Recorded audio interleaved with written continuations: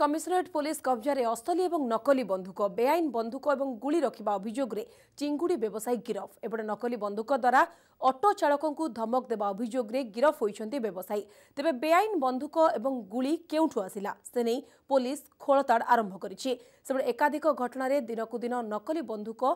police দ্বারা জবত হওয়া police অড়ুয়া বড়াইছে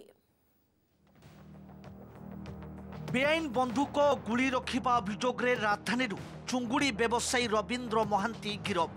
রাজধানীর মঞ্চেশ্বর অঞ্চলের ঋণ খিলাপকারী ঘর সিজ বেড়ে ঠাব হয়েছে এই বন্ধুক ও গুড়ি সতেইশ লক্ষ টঙ্কা লোন পরিশোধ হয়ে নথিবারু পুলিশ উপস্থিতিতে চালিয়েছিল এই জবত প্রক্রিয়া প্রদীপ সুবুদি নামক জনে ব্যক্তি লোন নেই পরিশোধ করুনথা বেড়ে চিঙ্গুড়ি ব্যবসায়ী রবীন্দ্র সেই ঘরে দীর্ঘ একুশ বর্ষ ধরি ରଖି ଆସୁଥିଲେ ତେବେ ରବୀନ୍ଦ୍ର ଚୋରା ବନ୍ଧୁକ ଓ ଗୁଳି ରଖିବା ପଛରେ କ'ଣ ରଖିଛି କାରଣ ସେ ନେଇ ଛାନବିନ କରୁଛି କମିଶନରେଟ୍ ପୁଲିସ୍ ଫାର୍ଷ୍ଟ ଟାଇମ୍ରେ ଗୋଟେ ଦେଶୀ ବନ୍ଧୁକ ମିଳିଛି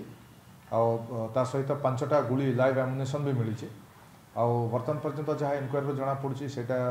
ଇଲିଗାଲ୍ ଆର୍ମ ଆଉ ସେଥିରେ ଜଣେ ବ୍ୟକ୍ତିଙ୍କୁ ବର୍ତ୍ତମାନ ଅଟକ ରଖାହେଇଛି ସେହି ସଂକ୍ରାନ୍ତରେ ଆଉ ନିଶ୍ଚିତ ଭାବରେ ଯେହେତୁ ଗୋଟେ ଆର୍ମଟେ ମିଳିଛି ଆର୍ମ ସେକ୍ଟର ବି କେସ୍ ହେବ ଆଉ ତାକୁ ଆରେଷ୍ଟ କରା ଆମେ ସେ ବିଲ୍ଡିଂ ସିଜ୍ କରିବା ପାଇଁ ଯାଇଥିଲୁ ସେ ଘର ବି ସିଜ୍ ହେଇଥିଲା କିନ୍ତୁ ସିଜ୍ କରିବା ସମୟରେ ଆମର ଜଷ୍ଟ କିଛି ୱାନ୍ ଷ୍ଟାଫ୍ ସେ ଦେଖିଲେ ଗୋଟେ ବନ୍ଧୁକ ପଡ଼ିଛି ଗୋଟେ ବ୍ୟାଗ୍ ଭିତରେ ପଡ଼ିଛି ତ ସେ ବନ୍ଧୁକ ଦେଖିଲା ପରେ ଆମେ ଆଇଏସ୍ସିଙ୍କୁ ଜଣାଇଲୁ ସେପଟେ ନକଲି ବନ୍ଧୁକ ଜନିତ ମାମଲା ଖୋଦ୍ ରାଜଧାନୀରେ ବଢ଼ି ଚାଲିବା ପୋଲିସ ପାଇଁ ଚିନ୍ତାର କାରଣ ହୋଇଛି ଖାରବନଗର ଅଞ୍ଚଳରେ ଅଟୋ ଚାଳକଙ୍କୁ ନକଲି ବନ୍ଧୁକରେ ଧମକ ଦେବା ଅଭିଯୋଗରେ ଅଟକ ରଖିଛନ୍ତି ବ୍ୟବସାୟୀ ସେ ବ୍ୟବହାର କରୁଥିବା କାର୍କୁ ପୋଲିସ ସିଜ୍ କରିଛି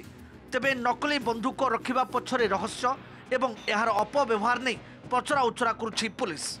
ନିକଟରେ ବିଜେପି ରାଜ୍ୟ ସଭାପତିଙ୍କୁ ନକଲି ବନ୍ଧୁକ ମୁନରେ ଧମକ ଦେବା ଓ ଖଣ୍ଡଗିରି ଅଞ୍ଚଳରେ ଲୁଟ୍ ପାଇଁ ଲୁଟେରା ନକଲି ବନ୍ଧୁକ ସହ ଧରାପଡ଼ିଥିଲେ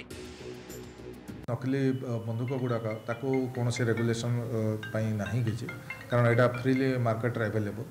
ତ ତାକୁ ନେଇକରି କିଛି ଜାଗାରେ ଆମେ ବି ଦେଖୁଛୁ ତା'ର ସେମାନେ ଡରାଇବା ପାଇଁ ଚେଷ୍ଟା କରୁଛନ୍ତି ଆଉ ତା'ର ଅପବ୍ୟବହାର ବି କରୁଛନ୍ତି